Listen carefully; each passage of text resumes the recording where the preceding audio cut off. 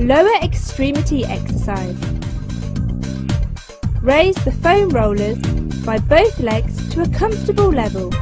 Then return to the starting position and repeat. Or you can exercise by a single leg and alternate legs.